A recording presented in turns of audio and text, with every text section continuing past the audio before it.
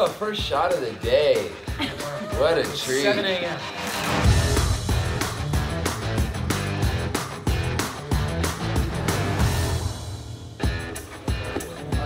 All my friends in one place.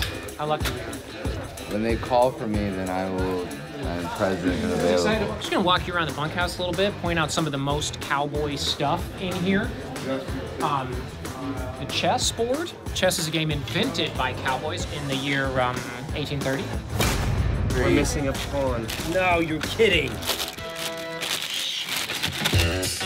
Five things you didn't know about Ian Bohen. Ian Bohen is uh, B positive, blood type. He's a very good golfer.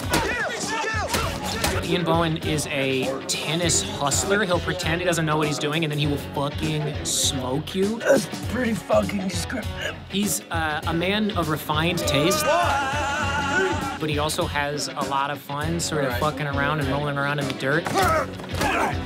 Ian Bohen rules.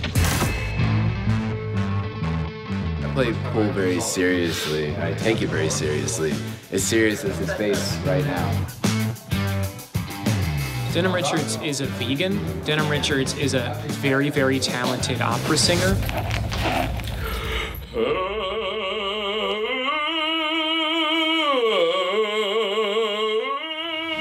Denim Richards is incredibly emotionally intelligent and has helped me through some of the hardest times of my life. That's what we call karma, bitch! Denim Richards loves Boston Terriers and I think has like seven Boston Terriers, almost literally. And Denim Richards loves the film The Danish Girl. He once told me that was an elite acting movie. You just don't appreciate quality filmmaking.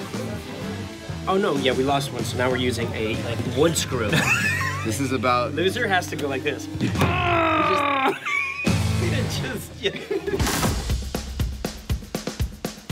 I'm not kidding. This is actually how I would warm up for teeter.